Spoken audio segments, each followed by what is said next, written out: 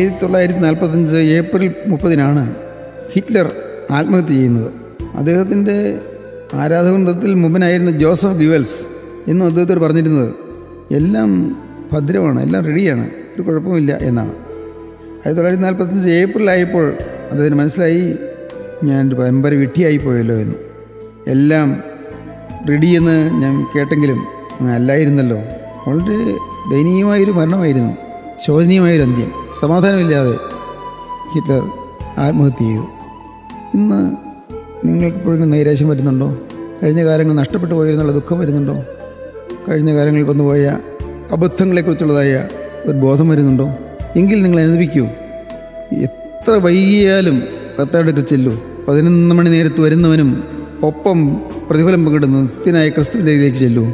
മൂന്നാം മണി നേരത്ത് വന്നവനും ആറാം മണി നേരത്ത് വന്നവനും ഒമ്പത് മണി നേരത്ത് വന്നവനും എല്ലാം കൊടുക്കുന്നതുപോലെ തന്നെ തുല്യം പതിനൊന്ന് മണി നേരത്ത് വന്നാലും ഒരു മണിക്കൂർ മാത്രമേ ജോലിയുള്ളൂ എങ്കിലും അവനും ഒപ്പം പ്രതിഫലം കൊടുത്തല്ലോ.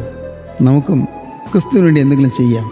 വിശുദ്ധ ഹസ്തങ്ങൾ ക്രിസ്തുവിന് വേണ്ടി ചലിപ്പിക്കാം. നമ്മുടെ നാവ് ക്രിസ്തുവിന് വേണ്ടി സംസാരിക്കാം. നമ്മുടെ ജീവിതം ക്രിസ്തുവിന് ഇട്ടുകൊടുക്കാം ക്രിസ്തുവിനോട് നമുക്ക് ഉള്ളു തുറന്ന് പറയാം കർത്താവേ ഇത്രയും കാലം നഷ്ടമായിപ്പോയി. പരാജയപ്പെട്ട ജീവിതം. നീ നേടിയെന്ന് പറയാവുന്ന ഒന്നുമില്ല. എന്നാൽ ഇതാ ഞാൻ എന്നെ മുഴുവൻ നിനക്ക് തരുന്നു. ഏൽപ്പിക്കൂ നിങ്ങൾ സംശയിക്കേണ്ട. കൊടുക്കൂ ആ ആണിപ്പാട്ട കരങ്ങളിലേക്ക്.